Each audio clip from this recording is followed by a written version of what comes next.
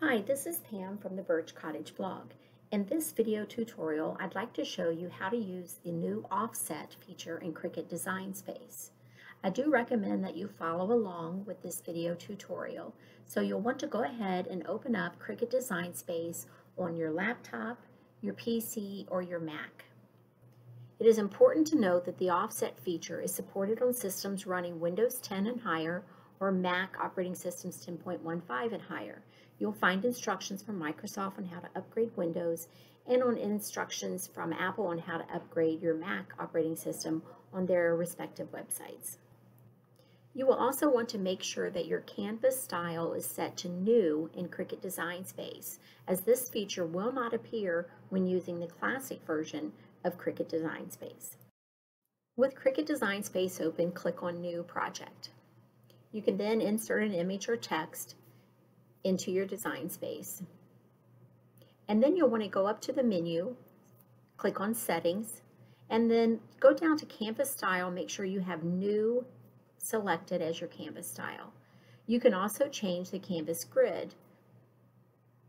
Since it's not important for me to have objects lined up, I'm going to say no grid. And then I'm ready to insert my graphics, my artwork, my text, whatever I want for my design. All right, I have my text and my design all laid out the way that I want it. I'm going to select all the layers and then click on offset. I can change the size of the offset if I want, but I don't want to. In this case, I'm going to click on apply. And then I'm going to change the color of that offset layer. So make sure the offset layer is selected in your layer panel and then click on your little color square and select the color that you want for your background color for that offset layer. So you can play around with that and select whatever color you want. I have this selected. Now I don't really want to select all the layers. I just want to add another offset layer to my offset layer.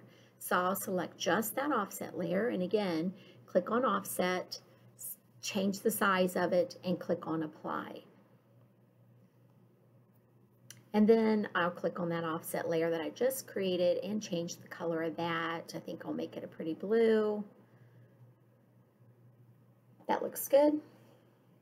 And so then once I have that done, I select all the layers. Now check your layers panel, make sure all layers are selected, and then you're going to want to flatten your image because we flatten the image for print, then cut. When you have that resized and just the way you want it, you can click on Make It. And then you have a preview of the image on the mat. You can specify how many copies you want. If I wanted a full sheet, I could say eight or 10 copies of this, depending on what size they were.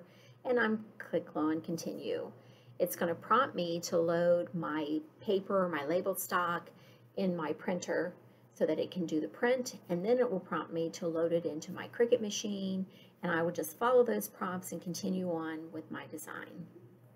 It's important for you to remember that this offset feature in Cricut Design Space is only supported on systems running Windows 10 and higher, Mac operating systems 10.15 and higher.